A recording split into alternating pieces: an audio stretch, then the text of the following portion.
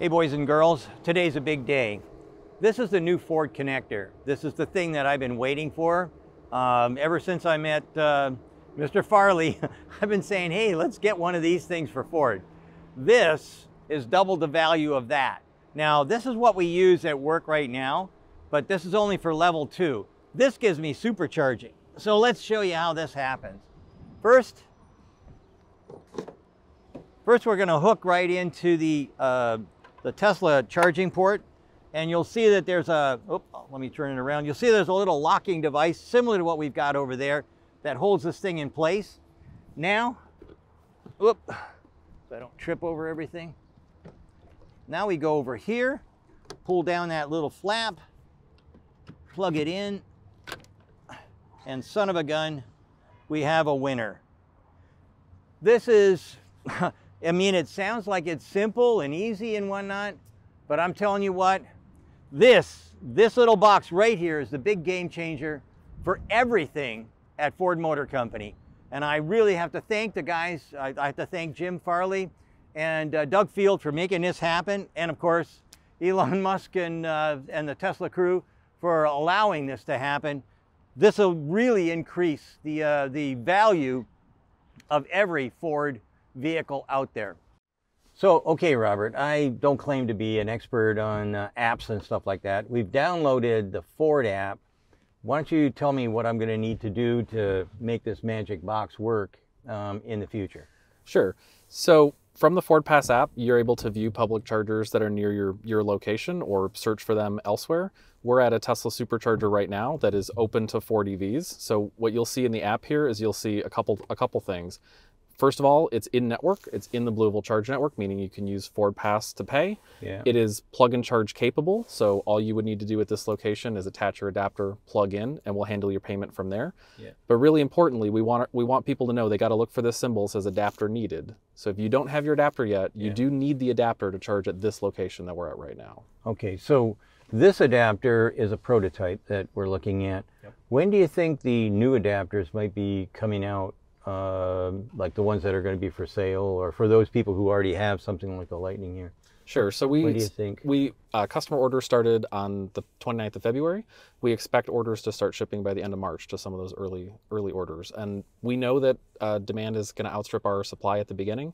Yeah. So when customers place their order, they'll get an expected delivery date, and to uh, in their confirmation email, it'll tell them about when they should expect their adapter. Ah, okay. All right. Good then. So this is a big deal uh, for me anyway. Uh, how big a deal is it for Ford? I mean, the the apps that have to be created, uh, all the electronic stuff and whatnot. Um, I believe that you guys are all um, OTA over the air kind of uh, downloads and whatnot. Yep. How much time would it take for someone who they've got their adapter now? They maybe they've got their Ford um, uh, app all ready to go um, how long how long does it take then to to make everything happen? Sure. So um, yeah, our vehicles are over the air capable. Um, what's what's good is that out of the box there is no update to the vehicle that's required for compatibility at Tesla superchargers. Mm. But we want customers to get the over the air update for Mustang Mach-E and F-150 Lightning that enables plug and charge at Tesla superchargers. That update started going out on February 29th. We're um, a large number of customer vehicles have already received it. The good news for customers is they're, um, the vast majority of vehicles that are eligible for the over-the-air update are going to receive that update before they get their adapter. Very good, very good indeed. So um, we've we've talked about pretty much everything that that uh, that Ford's been doing as far as the charger and stuff like that. The interfaces, I mean, um, the let me rephrase that: the financial interfaces. So um, I, I charge up, I do what I do. How does the money extract from, is it coming out of Apple Pay or is it something that you guys have through uh, the dealerships? How, what's, what's going on with that?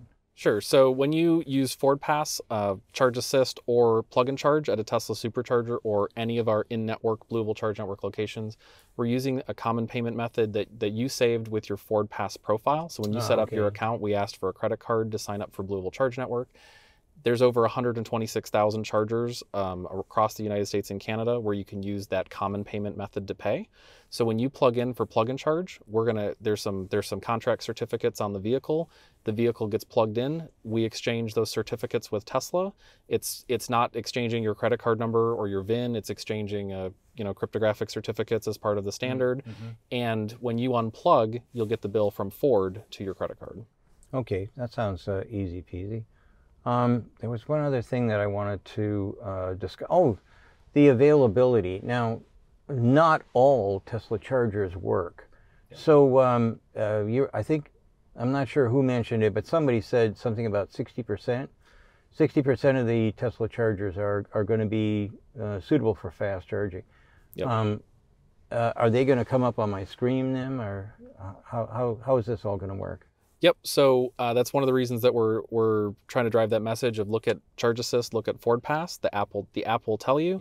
Um, the you're correct. Uh, version two superchargers, so some older Tesla superchargers remain unavailable to, to non-Tesla EVs, but the vast majority of version three superchargers are available to non-Tesla EVs starting la- or to Ford EVs starting last week. Um, that is that's something that we want customers to know that you know they they can't uh, rely on just you know seeing a charger or remembering where one exists. We really want them to use the tools that say, is this one one you can use? Right. Okay. So uh, to avoid disappointment, Yep. make sure you use the app properly. Yeah. Well, I can't think of anything else that uh, that um, that's you know on my mind. But uh, have you got anything else that you need to, or maybe could mention to the audience? So we're really excited to roll this out. We're, we're super excited to see customers out there. The only other thing I would note is just just I you know I'm going to do my little PSA on adapter safety. We know a lot of customers have third-party AC adapters for level 2 charging. We just mm-hmm. want to make it really clear that those adapters cannot be used with fast chargers. Yeah. We need the customers to use their fast charging adapters with the fast charger, and if they want to use an AC adapter, they need to use that AC adapter only with AC Yeah. chargers. Don't mix and match adapters. Yeah. So it's going to be this, not that. Exactly. Okay, good. So, um, well, anyway, um, say, ending on a safe note is always a good idea.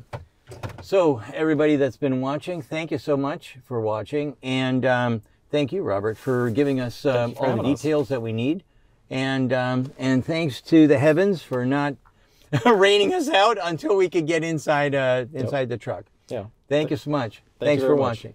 Yep. Thank you. Bye now.